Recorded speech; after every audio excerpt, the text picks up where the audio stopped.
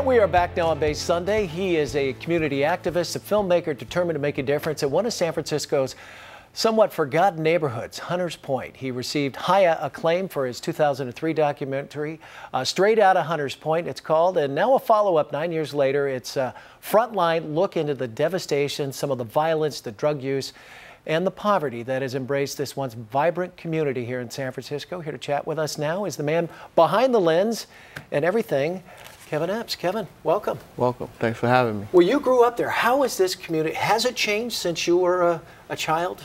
Uh, it has Point? changed. It has changed a lot. I mean, as any kid, it's a very vibrant community. A lot of kids, a lot of parks, a lot of activity around, you know, the community and recreation. But over the years, you know, a lot of different things changed. A lot of the, you know, the inequities became apparent when some of the youth kind of got out into the communities and you know, the other blighting things started to surface and, you know, that happened in the community over the past few years for sure. And when did you decide that I want to make a difference? And, and you, I know what, seven, eight, nine years ago, your first uh, documentary came out.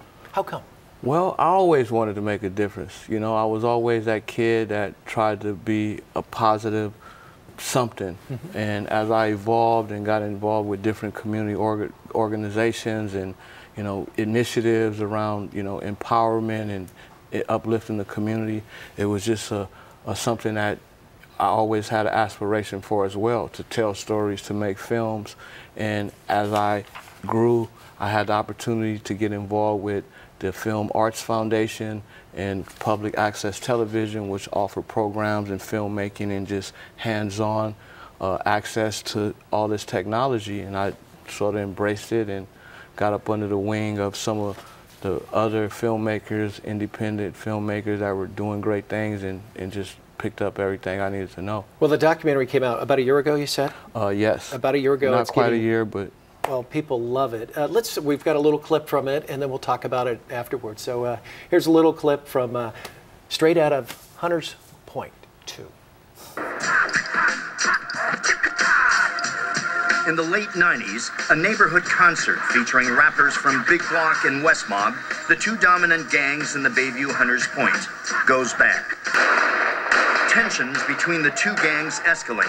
A mediation attempt turns deadly. The death toll surges as the gang warfare heats up.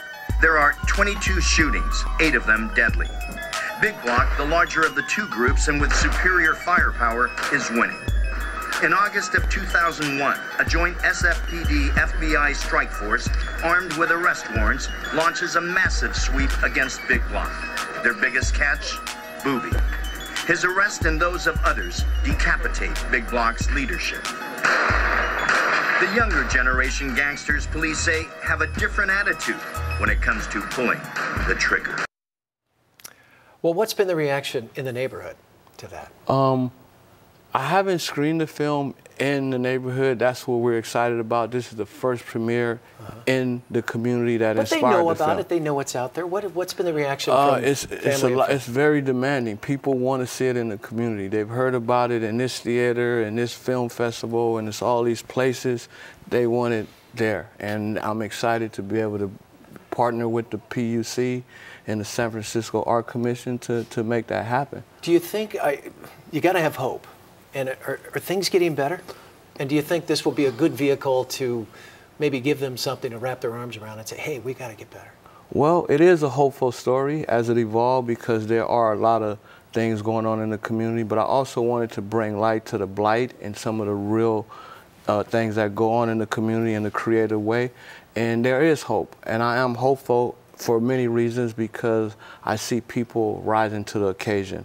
Uh, I see kids, I see that vibrancy, and, I, and that's where the hope is. Just seeing the young faces and the, and the people and, and just the, the, the life that exists there. So I'm hopeful. Well, you know, we wish you all the best, Kevin. Thanks for coming in. Thank you and, very and much. Best of luck with number two. Will there be a number three? Uh, I'm not sure, but number two this Sunday at the Bayview Opera House. Please join us. Very good. Kevin's documentary, Straight Out of Hunters Point, as he just mentioned, will be featured today at the Bayview Opera House for a community screening from 2 until 5. If you'd like more information, please visit bvoh.org, all one word. That's our show. Enjoy your Sunday, everybody, and we'll see you again next week right here on CBS 5.